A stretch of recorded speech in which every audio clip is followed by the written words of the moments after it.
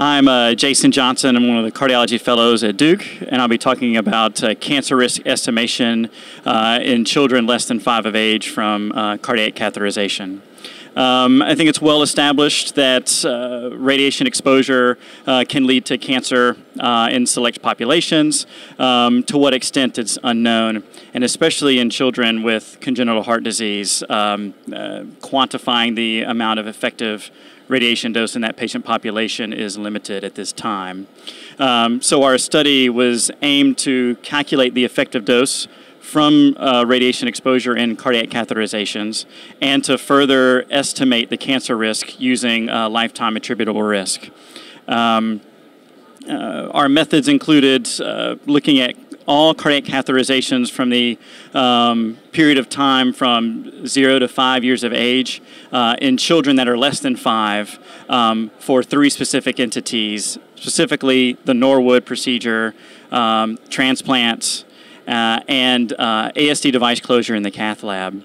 Um, we calculated the effective dose from a um, um, uh, radiation dose calculator using um, anthropomorphic phantoms. And then we calculated the uh, uh, lifetime attributable risk um, using the biological effects of ionizing radiation, report 7, um, that is currently in the literature. what we found was is that uh, the uh, single um, catheterization uh, effective doses were higher um, if you were having Norwood or an ASD closure, um, and were lower if you had just a single transplant.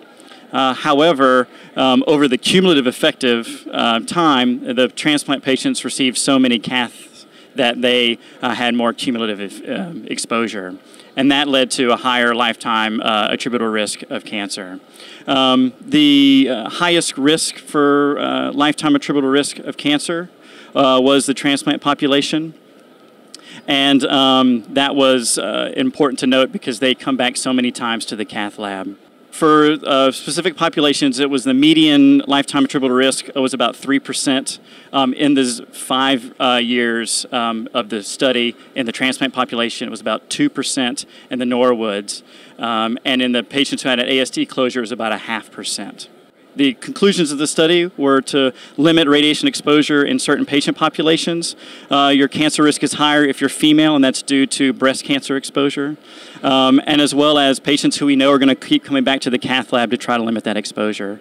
Uh, ways to limit that exposure would be um, uh, limiting the fluoro time, um, uh, changing the frame rates on your cines, um, going around 15 frame rates, um, uh, frames per second or less. Thank you very much for your time.